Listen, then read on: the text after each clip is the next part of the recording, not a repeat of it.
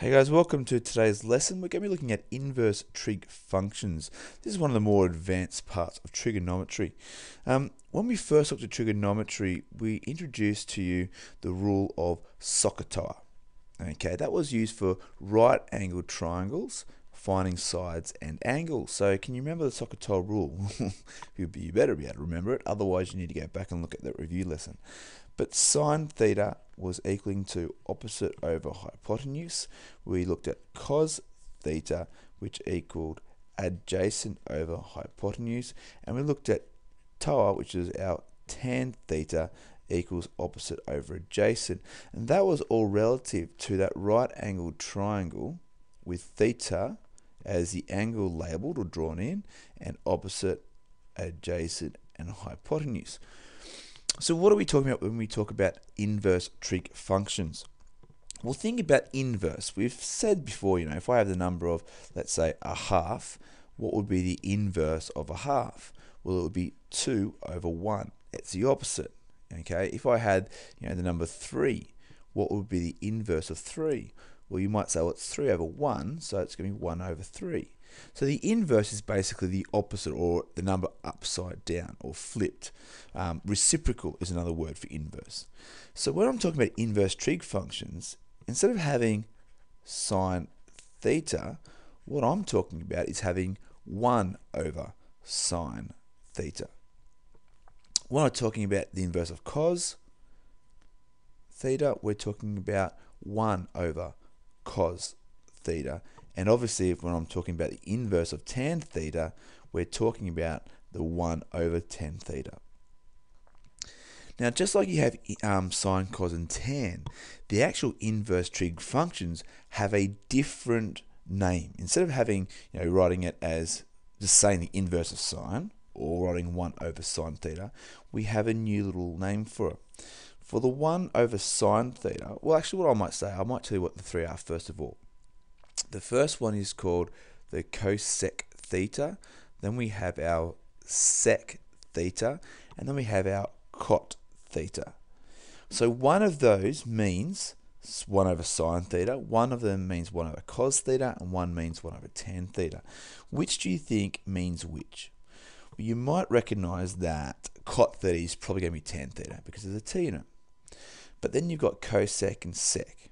Okay, a lot of people think that cosec is cos because it's got cos in it. Um, that's actually incorrect. So what I'm going to tell you, the little rule to, to think about is the third letter of each. The third letter should tell you whether it's sine, cos, or tan. So the third letter here is S. So actually, that's our sine, our, our inverse of sine.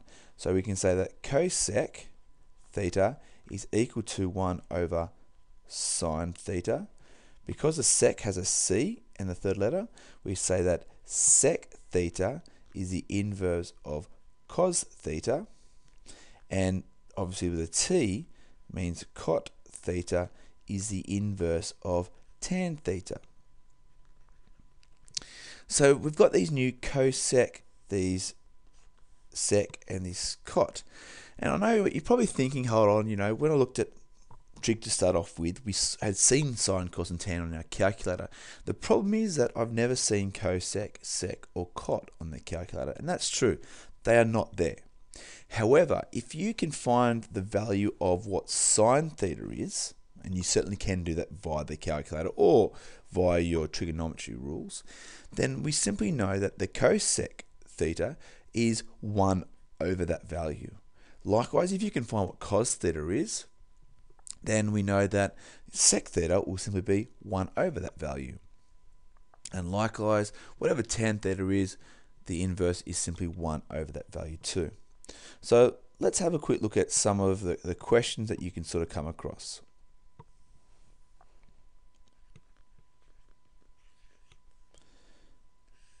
So we're going to look at a right angled triangle.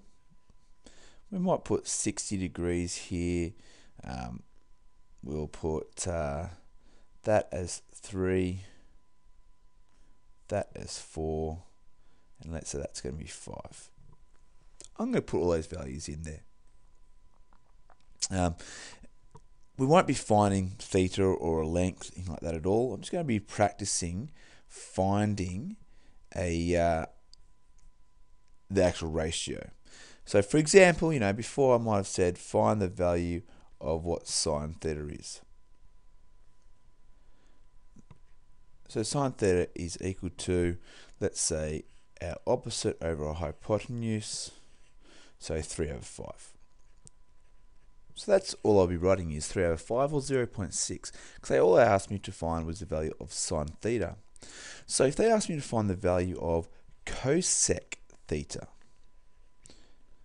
well, cosec, the inverse of cosec, okay, is, or should I say, cosec is the inverse of sine, 1 over sine theta. So what's the inverse or the reciprocal of 3 over 5? Well, you might say it's going to be 5 over 3. And that's simply your answer. Okay. Um, if I ask to find the value of um, sec theta, then you might say, well, cos theta is going to be 4 over 5. So you might say cos theta is equal to 4 over 5. So then, then sec theta is the inverse of that. Okay, what is the inverse, the reciprocal of 4 over 5? Well, it's going to be 5 over 4. And if I look at cot theta, okay, cot theta, then the inverse of cot theta, well, let's see what tan theta, theta is first of all. Tan theta is 3 over 4. So obviously cot theta is the inverse of tan theta. So what's the inverse or the reciprocal of 3 over 4? It's going to be 4 over 3. Okay, so it's actually pretty easy, guys. It is actually pretty easy, and that's all you would be asked to find at this stage. You know, find the the um find the the representation of sec theta, cot theta, sec theta, cosec theta. Sorry. Um, there's not much else that will be asked. I guess the, the harder questions will come from the next one, which I will show you a little bit. There is a another um, uh, video on this, but I certainly will show it to you. And that's looking at exact values. So I will show this too. So, you know, think about, you know, you might get a question saying, um, find the exact value of so find the exact value of, let's say, we'll do cos 30 degrees, we'll do um, sine 60 degrees, we'll do tan 45 degrees, and then we might do sec 30 degrees we might do cot 60 degrees and F will do cosec 45 degrees. Okay, so that looks like a pretty tough question. And I know it's um, certainly some different stuff. For most of you, you've done the first three. Okay, we did that in uh, term two for some of you in year nine, or um, we did that in term one for some of you in uh, in uh, year ten. But certainly that comes from your two right angled triangles, okay, which is our um, 60 degree, 30 degree triangle, which was 1, 2, and root 3. Or you had the right angled isosceles, although that doesn't look like an isosceles triangle, my apologies. It'd be the 45, 45 right angled triangle, which is 1, 1, and root 2. Now, if you can't remember how to draw those triangles, then I really do suggest you go back to watch the, the video on exact values, and then you can obviously continue with this one. Okay, so how do I find cos 30? Well, 30 degrees is here, so cos is adjacent over hypotenuse, so I'd simply say it's going to be root 3 over 2. How would I find sine 60, or the exact value of sine 60? Will it be root 3, it's opposite, over 2. That's the same value, isn't it? Often we will say these are complementary um, angles because they have the same value. Okay, same value. And look, 30 plus 60 is 90. Funny enough that. That's, an, that's for another day. Um, tan 45 is opposite over adjacent, so we can use either of these two angles. I'll use this one here. Opposite over adjacent, so it's 1 over 1 or just 1. So how would I then find sec 30? Okay, well sec 30, we know that sec is the inverse of cos. We know cos 30 is root 3 over 2. So what's the reciprocal or the inverse of root 3 over 2? Well, you might say it's going to be 2 over root 3. So it's just the exact value of cos 30 upside down.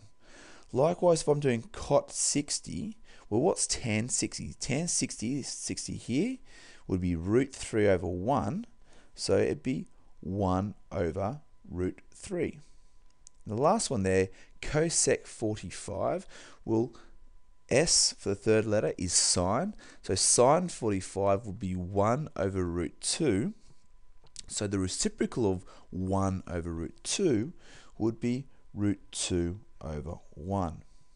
So you can sort of see, guys, that although, look, this is new, um, it is more challenging. It's actually not that hard. If you can just remember that sec links with cos, cot links with tan, and cosec links with sine, then it's simply just the reciprocal of whatever value cos, sine, or tan is. It's just chuck it upside down. All right. Look, I hope that made a bit of sense to you. Um, we certainly will be doing some more work on this in the in the uh, next coming lessons, but hopefully that gives you a good introduction of what cosec, sec, and cot are, and how to apply them to a normal question or an exact value question. Best of luck with this stuff. Um, any problems, let me know, and we'll do a bit more work on it. Cheers, guys.